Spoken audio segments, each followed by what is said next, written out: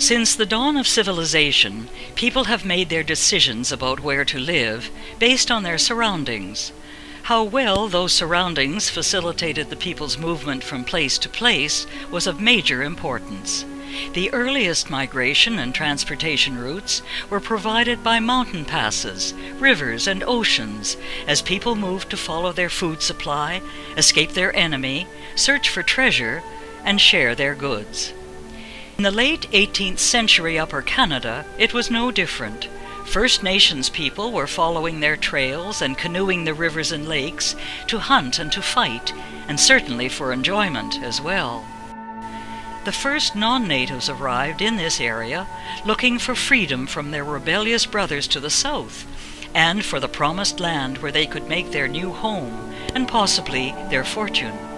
They came by boat, by wagon, and by foot, along the waterways and through the forests.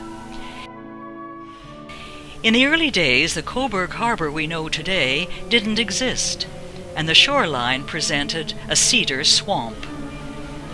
A few miles west, what we now know as Port Hope presented a much superior anchorage.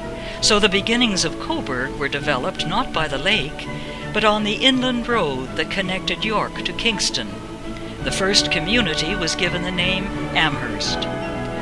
But it wasn't long before more settlers were arriving in the Canadas. Soon large numbers of immigrants arrived from the old countries of England, Scotland, Wales, and especially Ireland, choosing the horrific conditions and dangers of transatlantic travel rather than persecution or starvation.